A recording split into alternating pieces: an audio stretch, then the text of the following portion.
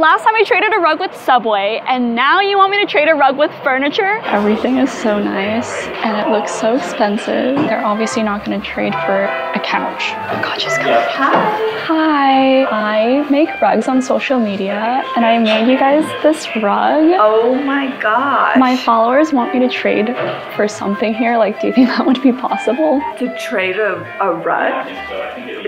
Um, let me go grab my manager and we'll see what she thinks, okay? Okay, thank you.